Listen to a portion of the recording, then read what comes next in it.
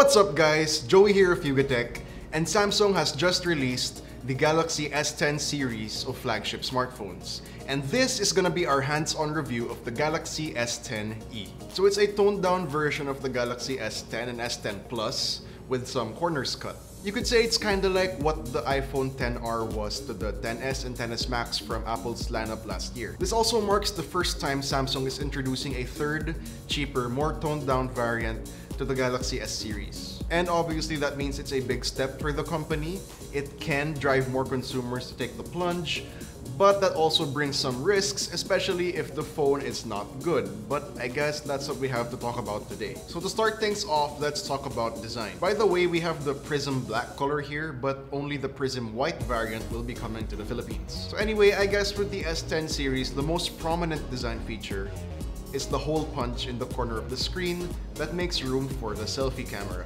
So the hole punch is essentially yet another solution that companies have taken to solve the bezel problem. We've seen notches of different sizes, we've seen camera slider phones, we've seen double screen phones, and of course, like this one, holes in the screen. I first experienced it with the Huawei Nova 4 and honestly, it's a lot less of an eyesore compared to a notch. And unlike the Nova 4, with the S10e, we're getting an amazing AMOLED screen, which if you factor in the fact that Samsung was able to punch a hole in it, is a technical achievement within itself.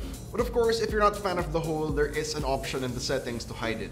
One thing that the S10e screen doesn't have though, is the fancy new under-display ultrasonic fingerprint scanner that's on the S10 and S10 Plus.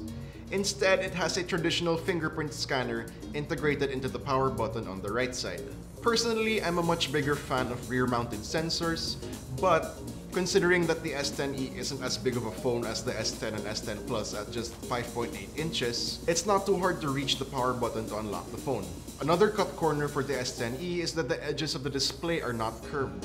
You definitely notice it especially when holding all three phones one after the other. But then again, I guess you could say it's more of a design change in terms of aesthetics and ergonomics, but functionally we're still getting the same good display. Now rounding off the rest of the design is of course as expected from a Samsung flagship, very premium and classy look. It's a sandwich of glass and aluminum that covers both form and function. For the latter, we still do have a 3.5mm headphone jack, Good job for still keeping that, Samsung. It's positioned on the bottom beside the Type-C port, which I know a lot of people like. Up top, we have a hybrid SIM tray, which is fair. A dedicated microSD card slot would have been nice, of course, but seeing as we already get 128 gigabytes of internal storage, and you can expand a lot with a 512 gig card, I can let it slide. On the left, volume controls and the infamous Bixby button. Unfortunately, One UI does not allow native remapping of the Bixby button, which I really hope becomes a native feature in the future especially if Samsung decides to keep the Bixby button forever. I hope they don't. Though, I will say, all the buttons feel really nice to press, though I wish the power button wasn't as recessed as it is and positioned a little bit lower, especially since it's also a fingerprint scanner. And of course, at the back, we get the horizontally organized rear cameras upon a full sheet of glass that curves very nicely towards the edges. And also gives us our surprisingly two-way wireless charging which we'll talk about more later on. Now holding the phone in the hands honestly feels great. It's one of the nicest looking phones I've seen. It's tough with an IP68 rating, but the size is what I like the most. Despite being a bigger guy myself, ironically, I actually like the smaller versions of phones, like how I've always personally opted for the standard non-XL versions of the Pixel 2 and Pixel 3 for my daily drivers over the past couple of years. Actually, when I initially got the S10e in my hands, the very first thing I did was compare it to the size of my Pixel Pixel 3. And immediately I got really excited because they have almost the same exact dimensions. Physical dimensions, that is. Okay, this is gonna be a mouthful, but we get a 5.8 inch dynamic AMOLED Infinity O display. The O, of course, refers to the cutout for the front camera. It's got a resolution of 2280 by 1080, which does mean that this is now a 19 by 9 aspect ratio compared to the previous 18.5 by 9 aspect ratio from the S8 and S9. Samsung has a really good track record when it comes to displays, especially with their flagship smartphones,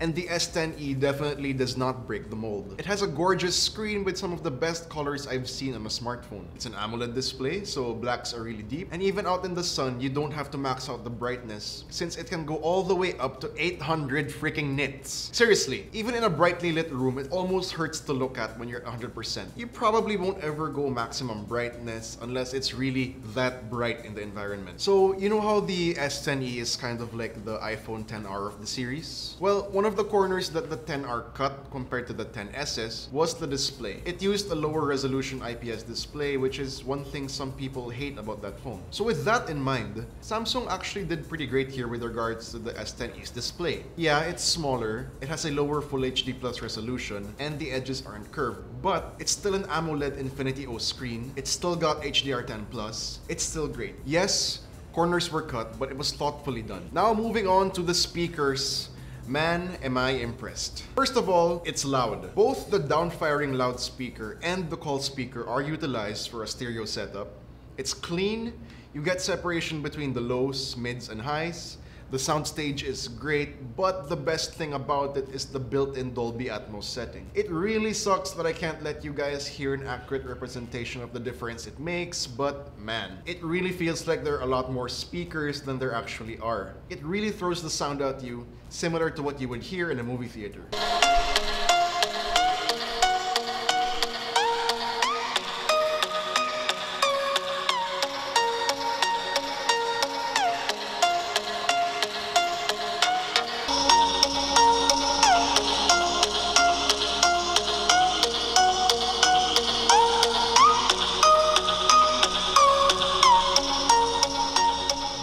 Shift gears a little bit and discuss the cameras. So unlike the S10 and S10 Plus, the S10e does not have the telephoto camera at the back, but we still get the 12 megapixel dual aperture lens from last year's Galaxy S9 and also a 16 megapixel ultra wide lens. Now with regards to the lack of the telephoto lens, I don't think we're losing much. Samsung has done really well in the past when it comes to camera zoom, but I honestly don't see myself using the telephoto lens as much as the ultra wide lens, which is why I'm glad it stayed on the S10e. Next, live focus of course makes a comeback, but now with more features. Aside from just the standard background blur, it can be a radial blur or spin, a linear blur, or zoom, and color point, which makes the background black and white while your subject stays in full color. Super slow motion at 960 FPS is back, However, there's now an option to capture 0.8 seconds, but at the sacrifice of some quality, compared to the regular 0.4 second shot. For photos, quality is great as expected. Again, I don't really see the use of the Pro mode and the variable aperture because the automatic mode is already really good at what it does. Shots are sharp, dynamic range is impressive,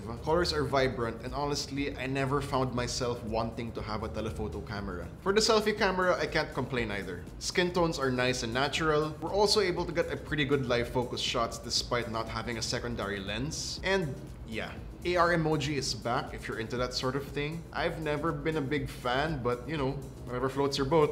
Alright, now let's talk more hardware. So powering the S10e is, depending on your region, either a Snapdragon 855 or Exynos 9820. Also 6GB of RAM and 128GB of internal storage. We weren't able to get any benchmark results unfortunately due to our limited time with the devices, but we can definitely expect performance to be great. I don't expect it to perform much less than the S10 and S10 Plus, even if it has less RAM, which is of course a good thing. So in terms of performance, basically you're not really losing out on a lot if you decide to go for the S10e instead of the S10 or S10 Plus. So for battery, this is another thing that's been cut down for the S10e compared to its bigger brothers. So it's got a 3100 mAh battery, which actually isn't a huge drop from the S10 Plus's 3400 mAh.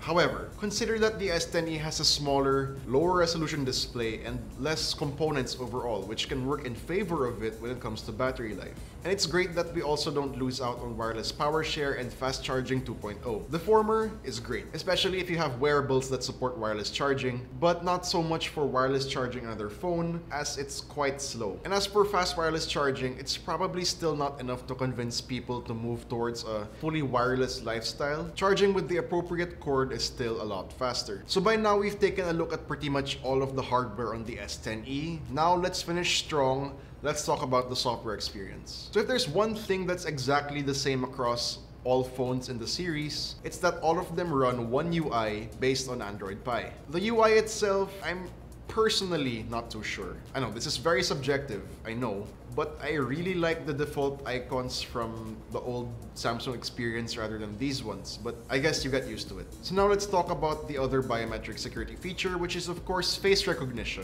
So over the course of my time with the S10e, I actually ended up preferring the face recognition over using the fingerprint scanner. It works really well, whether I'm wearing my glasses or not, and it's really good about making sure you're actually looking at the phone for it to unlock, which is clearly the safe route when it comes to this sort of thing.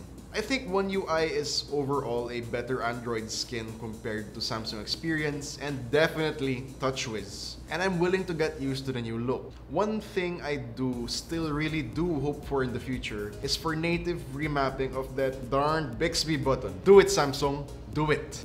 Okay, so this is a big thing for me to say, but as your stereotypical lover of stock Android and all things Google, if Samsung software would include options in the future for native Bixby button remapping and some other minor things. And also if they could up the game on their camera software, I would maybe, maybe consider dropping my Pixel for a Samsung phone, but I guess not yet. Also, I'll just go ahead and say something really important so that this video does not give you the wrong idea. The Galaxy S10 and S10 Plus are much better phones than the S10e. Again, the S10 and S10 Plus are much better phones than the S10e. That is a fact. They have better design and pack more features. And if you want the current best phone that Samsung has to offer, then these are the ones that you should go for. But wait, wait. Let's say you're like me. If you can live with the slightly smaller display with less screen resolution, if you can live with 2 gigabytes less RAM. If you can live without the telephoto lens, without the ultrasonic fingerprint scanner, if you're okay with a smaller battery, actually no, not if you can live without, more like if you don't care about these features, then the Galaxy S10e is actually the one you should go for among the three. Going back to the analogy we had earlier, the Samsung Galaxy S10e is a great example of what Apple should have done with the iPhone XR it still manages to pack a lot of features while cutting the right corners, despite being the cheapest in the Galaxy S10 series. You can check out the price of the S10e as well as the S10 and S10 Plus down in the description box. Also be sure to check out our hands-on review of the S10 and S10 Plus if you haven't already. Click over here to watch that. So yeah, this is it guys. What do you think about the Samsung Galaxy S10e? Are you gonna opt for it instead of the S10 or S10 Plus?